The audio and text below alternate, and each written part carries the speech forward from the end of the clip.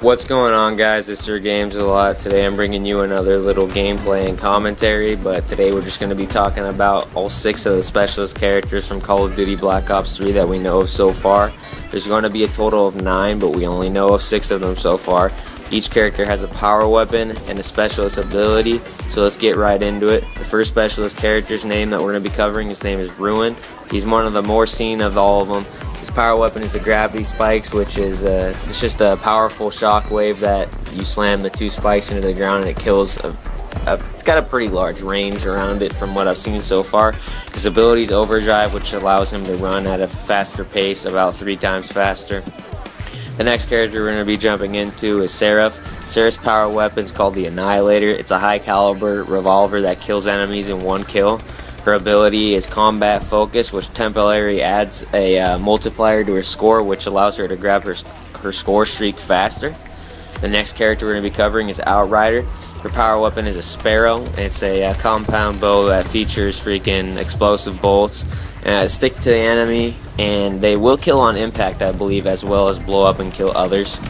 The next thing we're going to be checking out is her ability. Her ability is Vision Pulse, which allows her to freaking see uh, people through walls. Uh, it's like um, it's like what we've seen in previous Call of Duties. It just highlights them through the wall. The next character we're going to be covering is Reaper. Reaper's the robot guy. His power weapon is the Scythe, which is basically the minigun from all previous, all excuse me, all previous Call of Duties. This ability is Psychosis, which just splits them into three total people, and you can't tell which one is the real person. I don't know about this ability. I don't know if this will make it into the final game. It seems like it's not really Call of Duty-ish, but we'll, we'll see. I mean, I don't know. We'll have to see. Uh, the second to last character is the Prophet. He's got the Tempest shocking gun, which is just a gun that shoots freaking electricity and shocks and kills the, the person it impacts and people around him. The next thing that he has is Glitch. This was originally with Reaper, but now it's with Prophet, and it allows him to teleport to a previous location about 10 seconds back, or probably even less than that. The last character is Nomad. His ability, his um, his his weapon is the Hive.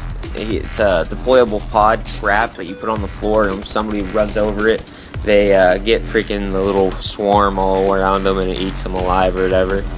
And uh, his ability is absolutely 100% fucking retarded. It's called Rejack, and what it is is when you die, you drop to the floor and drop a smoke bomb, and then you come back alive and jump out of the smoke. Yeah, I don't know if that's going to make it into the full build of the game. We are still early in it, but we'll have to see. Alright guys, that's going to bring us to the end of this video. Let me know what you guys think about these abilities, about these power weapons. If you think some are OP, some are dumb, some are whatever, let me know. Leave a comment below. Like this video if it helped you out. I would appreciate it very, very much. Subscribe to my channel if you guys would like to see some more of my content. And I'll see you guys in the next video that I create. I'm out.